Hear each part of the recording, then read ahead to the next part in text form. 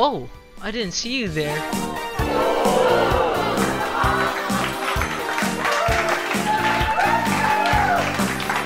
Just kidding, I've been watching you since you fell asleep last night. Anyways, today I'm here to talk about the transactional model. It is a model in which the, the two people involved in the communication are both senders and receivers, therefore creating a two-way channel of feedbacks, be it verbal or non-verbal. What it basically means is that once you're inside the conversation, you cannot not communicate.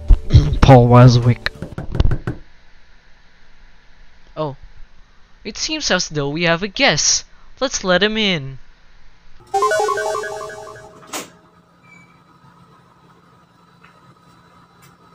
Oh. Oh, hi. Hi.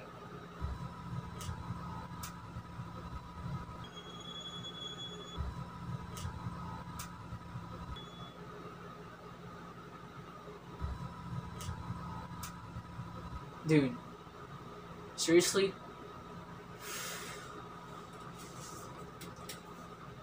Your line is, Hey, I have some art. I need to ask you for some feedback. Ah, shucks, I'm, I'm sorry. Oh my I- god, you're so f- stupid. How can you not know this? We practiced this all night. I'm sorry, okay? I get it.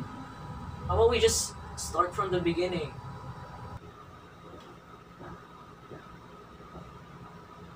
Oh, alright, go ahead. Show me.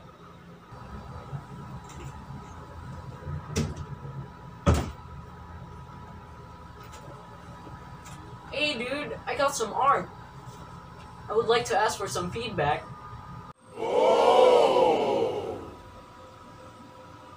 Dude, it sucks. What do you think? Dude, it sucks. What do you think? No way, that's really bad. What do you think? It's real bad. What do you think? That's. What do you think? It's real bad. Yes. Thank you.